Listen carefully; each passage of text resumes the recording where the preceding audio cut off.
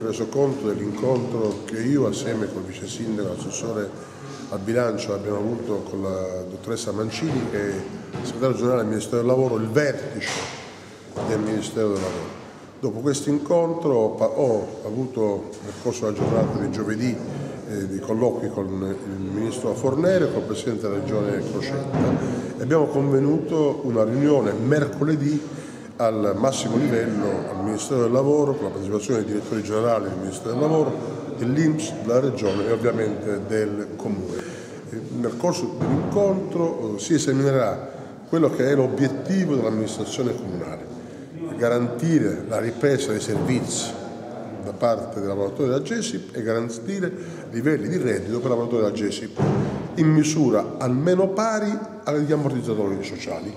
Ed è questa la proposta rispetto alla quale avremo tecnicamente una risposta, avremo un verbale dal quale evincerà chi fa che cosa. E da questo punto di vista l'amministrazione comunale ha confermato la, la richiesta da parte della GESI della cassa integrazione dal 1 di gennaio al 30 di aprile, con riferimento poi al periodo dal 1 maggio in poi, il percorso che stiamo esaminando, se verrà in qualche modo verificato mercoledì, farà sì che i 1800 lavoratori, tutti e 1800 lavoratori, tranne coloro che possono andare in pensione, che quindi in questo caso verrebbero collocati a riposo, potranno essere utilizzati per il suo servizio dell'amministrazione comunale. Utilizzati sempre come GESIP? No, utilizzati in quanto nel bacino della cassa integrazione in deroga con il contributo finanziario del Comune di Palermo. Fuori si vociferava a maggio tutti al lavoro? Eh, noi stiamo lavorando perché si possa raggiungere questo obiettivo, ma contemporaneamente stiamo lavorando perché per questi quattro mesi ci sia la cassa integrazione in deroga ehm, che abbiamo già richiesto il 2 di gennaio.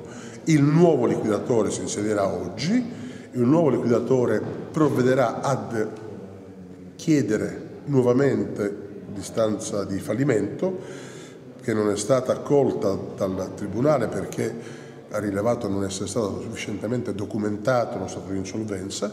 E quindi noi riproporremo la questione al Tribunale fallimentare perché in questo modo abbiamo il fallimento della GES, mettiamo in sicurezza il TFR, il trattamento di fine rapporto dei lavoratori ed il percorso potrà continuare con le modalità che mercoledì fisseremo nell'incontro al Ministero del Lavoro. Per quanto riguarda invece le retribuzioni, i lavoratori parlavano di una decurtazione dello stipendio. L'amministrazione comunale si è impegnata a corrispondere a tutti la somma pari a 900 euro al netti al mese. È evidente che questa corresponsione farà sì che qualcuno eh, dovrà lavorare per le ore commisurate a questo compenso.